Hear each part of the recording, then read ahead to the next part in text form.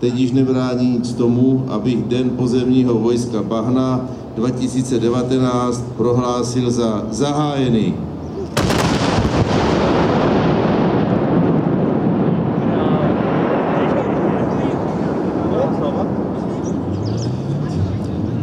Dámy a pánové, mohli jste slyšet slova velitele pozemních sil, generál majora inženýra